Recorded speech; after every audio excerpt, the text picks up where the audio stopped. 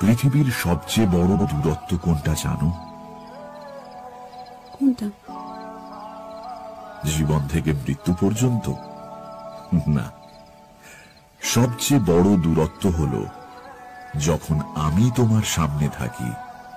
কিন্তু তুমি জানো না যে আমি তোমাকে কতটা ভালোবাসি।